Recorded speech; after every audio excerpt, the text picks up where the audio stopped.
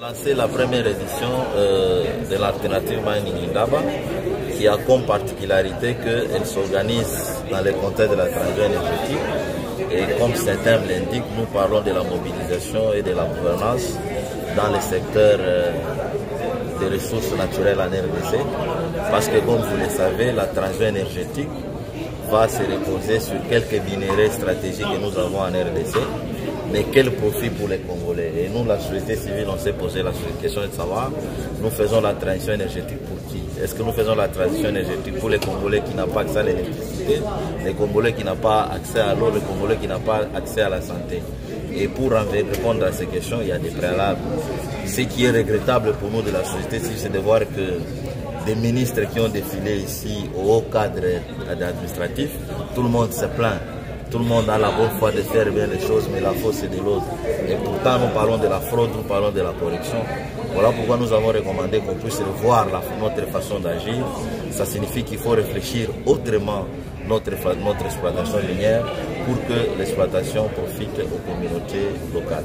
Et Congolais Apparemment, en train de prendre seulement une catégorie de géants Oui, là on a parlé de l'exploitation euh, des ressources naturelles, notamment les mines. Et effectivement, les mines sont une richesse nationale.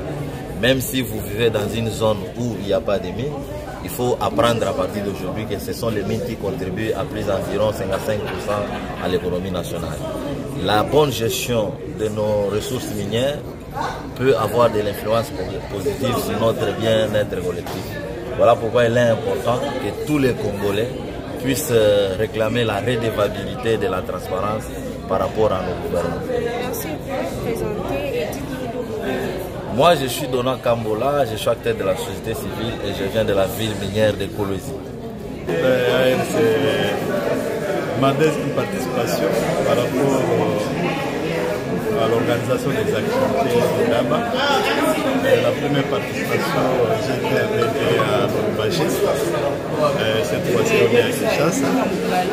C'est une participation, c'est une initiative qui sollicite beaucoup plus d'engagement dans l'État dans la corruption dans le secteur minier et comment utiliser les recettes dans ce secteur.